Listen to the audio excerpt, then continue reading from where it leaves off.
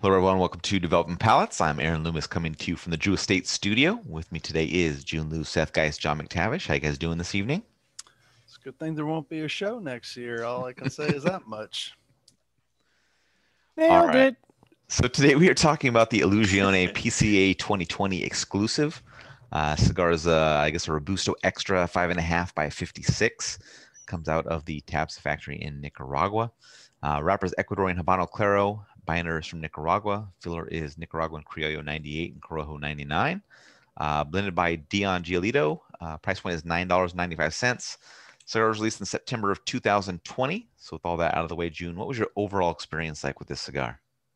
Um, I thought it was pretty like unbalanced. Uh, it, it- you know, it's one of those things where like you first like most cigars that you smoke, right? Like the first couple of draws, you're like, oh, okay, I know what's gonna be in for. But when I smoked this and knowing how much I like, you know, a lot of what Dion does, uh, I thought it was a, I thought it was a complete miss. Um, you know, hoping that it would get better as the cigar went through, but it was still the same, like very unbalanced. Got a lot of like charred red peppers, uh, dry cedar. Um, it was relatively strong. It's like medium plus strong, uh, medium body, but it was just not even. It was uneventful. It was not balanced. Um, there was no like finesse to it that I typically expect with a lot of the you know Illusione Dion blended stuff. Um, it was a uh, it was a it was a letdown. haven't said that for a Illusione new release for a very long time. I don't think I've ever said that actually uh, until now. So All right, Seth, what were your overall thoughts?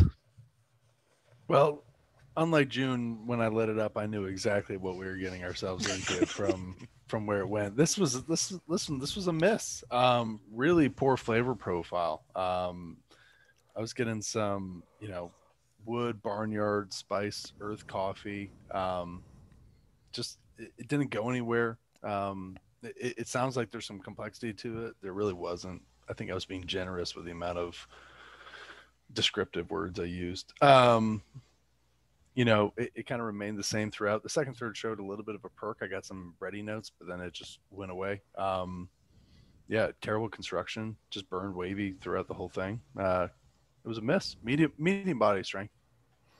All right, John, what were your thoughts? Yeah, this is a miss for me too. Um, the weird thing is that I think I had the best first third of anybody. Um, so go figure. It started out really interesting with bread and hay and sort of the traditional Illusione combination of you know bread, biscuity, baking spices, and I was like, oh, okay, maybe this is you know a good uh, PCA release. And then um, just fell right off a cliff after that. Uh, like Seth was saying, you know, the second third was just kind of bread, a little bit of dry wood, um, but all the all the flavor components there were just kind of really light, and they didn't come together in an interesting way. And then tannins kind of took over, um, and then that got worse in the last third, where it was just really wood forward, and and um, I think largely because the struggles it's having with the burn. It it became really toasted, like that char flavor, and it's just it's really hard for a cigar to recover from that. Um, so construction wise, the draw was perfect, which is weird because the burn was brutal. Um, started out straight and then immediately started to become wavy, and is one of those cigars where it went out in the second third, and from that point on, you could tell the cigar was just fighting me every step of the way and just wanted to go out. Um, and you know, I want to smoke a cigar for enjoyment. Um, a review is part of that, but to sit there and babysit a cigar to try and keep it lit is just you know it's really distracting and ruins the ruins the overall experience for me. Aaron, what was your experience like? Yeah, for me, the uh, flavor profile was a bit muddled throughout. Um, the first inch or so was good, but then it just became, became average as the baking spice lessened. The profile was just kind of a toasted cedar wood and uh, mustiness. Um, as you guys have all already hit on, the burn was, uh, you know, uh, just put a damper on the cigar. Um, I had smoked one of these in a non-review setting. Uh, didn't experience that bad of a burn, but the flavor profile wasn't all that impressive at that point either. Um, so I was I put in my re- review that I was very interested to see what your guys' experience was because this was just not what I've come to expect from the brand. Um, so I'm not in a hurry to revisit this. Um, you know, it's kind of a shame based on the brand um, and that the cigar is supposed to be an exclusive for the organization that it's meant to support. And um, you know, it's it's almost like you know, there's the TAA And then now these PCA exclusive series is gonna be like, is that gonna be like hold my beer while I attempt to make the TAA look good? Um, but yeah, it's uh, no, it was more of a hey TA, you want to watch us make a shittier cigar? Yeah. Hold my beer? That's exactly what I meant when I said hold my beer. yeah. Um, yeah, so there's that. Uh, let's get into the scores. We're gonna start at the top. Uh, we have a tie at the top. Jiunn and John both gave it a 5.45. Um, I was next at 4.28. Seth gave it a 3.93. So uh, Jiunn, how'd that 5.45 match up for you? it's it's a disgrace for something that Dion made and came out on TABSA's. So uh, it's, it's it's probably. I mean, I don't know what I score all the other new release uh, Illusione stuff that we've smoked throughout the years, but uh, I, I can certainly say this is the lowest by probably a long shot. Um, and and my tasting experience shows that it's just through and through a disappointing uh, experience. Um, I I don't know that uh, I, I can't say that TABSA has necessarily been scoring better than this for me, but uh, this is a pretty shocking score for an Illusione. Um, you know, I'd say this is certainly the lowest score this year for them by far, and historically, I mean, I I want to say it's like a half a point lower than the lowest scar they've ever had with me. So, um, pretty pretty disappointing performance.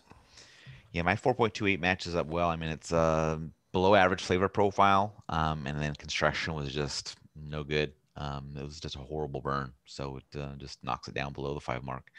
Um, all right, Seth, 3.93. I think when Scott Pearce spoke to the media in 2018 after the announcement of PCA and the changes to come, that would score higher than this cigar did, and that was pretty bad.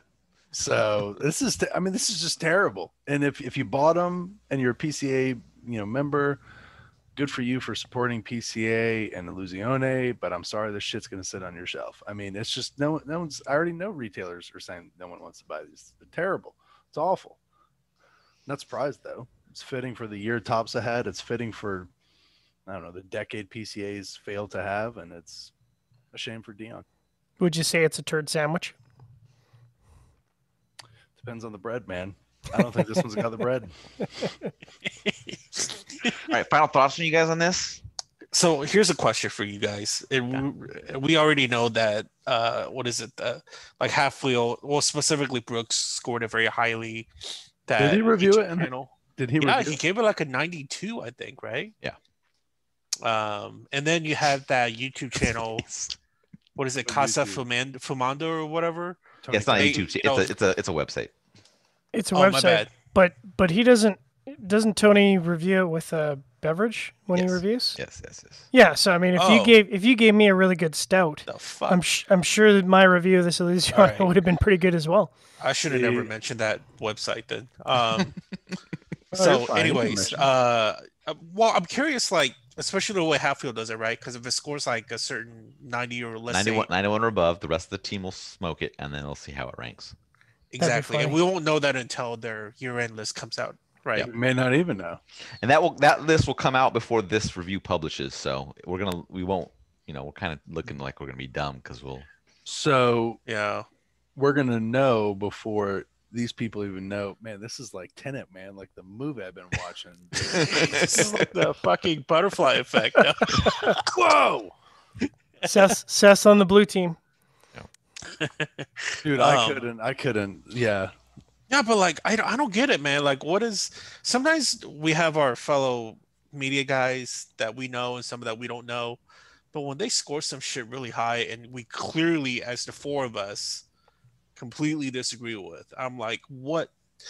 What are you smoking? It's You either know what I mean? that- like, completely different palettes or the cigar the variation from cigar to cigar are so is so wide yeah. and the batches are very poorly QC'd.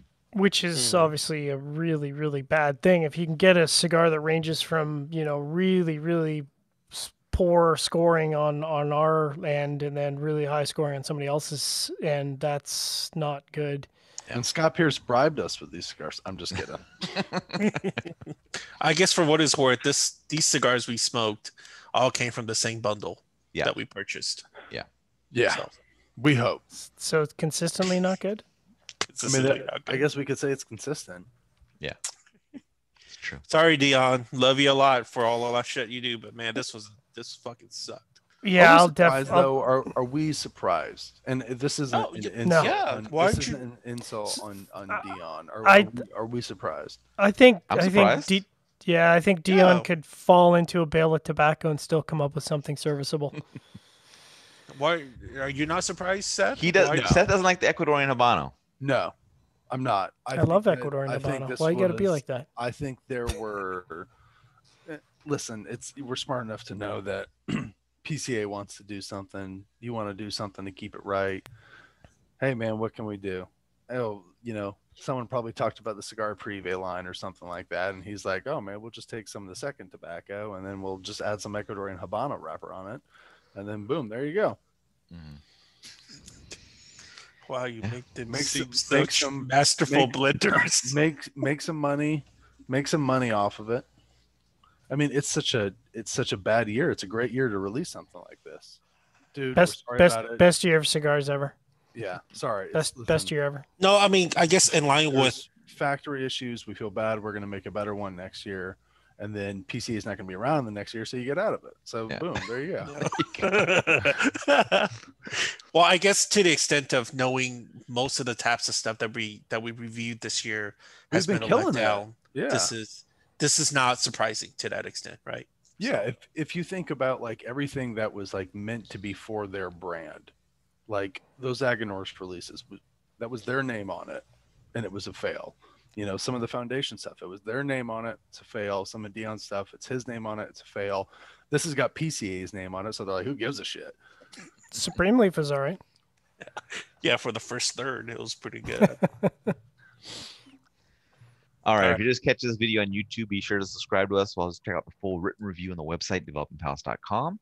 Follow us on the social media channels, and you can catch all of our review recaps on podcasts, so iTunes, Google Play, and Podbean. Thank you for tuning in. We will catch you on the next one. Screw the romance.